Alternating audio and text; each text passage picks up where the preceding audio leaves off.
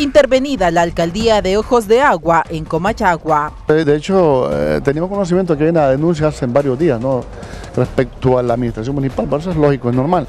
¿verdad? Entonces me informaron que ha sido en este momento mm, tomado ¿verdad? por parte de Fusina, de Fiscalía del Ministerio Público y de la ARTIC. Entonces, eh, supongo que están ahorita con el personal administrativo, ¿verdad? Haciendo algunas consideraciones, ¿verdad? A ver qué tipo de información que ellos están necesitando, ¿verdad? Y entonces, de hecho, pues ante una autoridad, pues que uno tiene que dar información que se requiere, no, no miro yo ningún problema en ese sentido. Y siempre en los municipios, pues hay sectores, ¿verdad? Donde están aspirando a hacer, eh, de alguna manera, llegar al poder del municipio y no miran otro, otro mecanismo para poder hacer las cosas correctamente, ¿verdad?